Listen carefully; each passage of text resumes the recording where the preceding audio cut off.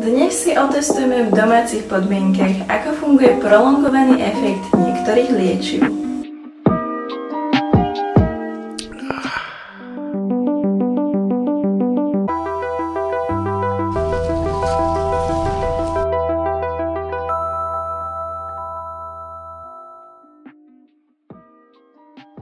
Na realizáciu experimentu budeme potrebovať ocot, sodu bikarbónu, vodu, dva sklenené poháre, rôzne typy liekov, obalené aj neobalené kapsule. Na realizáciu experimentu budeme potrebovať ocot, ktorý nám vytvorí kyslé prostredie žalúdka a sodu bikarbónu s vodou, tá nám vytvorí zásadité prostredie tenkého čreva. Do prvého pohára si nalejeme ocot.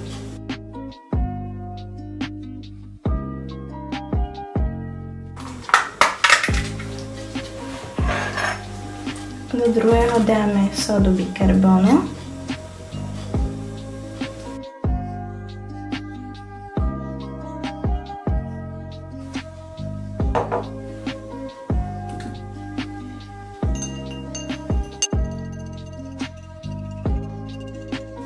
Máme tu vytvorené dve prostredia, model žalúdku a model tenkého čreva.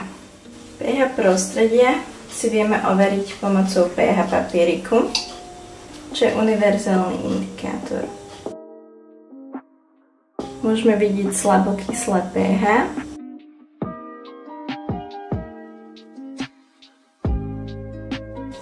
slabo zásadité. Našu prvú vzorku predstavujú gastrorezistentné tablety.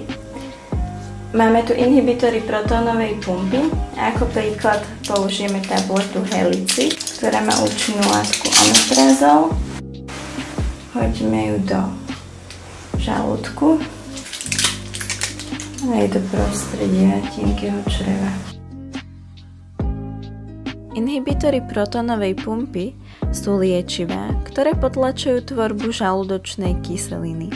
V medicíne sú indikované pri refluxnej chorobe, čo môžete poznať ako pálenie záhy.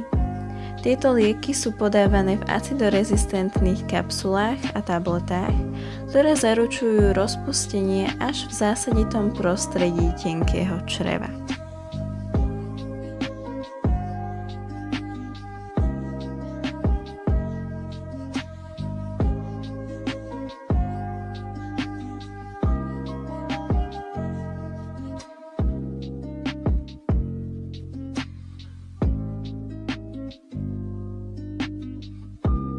Tvrdé kapsuly.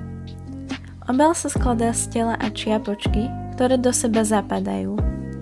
Ich obsah tvorí prášok, pelety či granulát. Vyrábajú sa v rôznych veľkostiach a vhodnou úpravou povrchu, prípadnou modifikáciou náplne, je možné docieliť ich odolnosť voči kyslému prostrediu v žalúdku a uvoľniť ich obsah v čreve. Táto vlastnosť sa nazýva gastrorezistencia.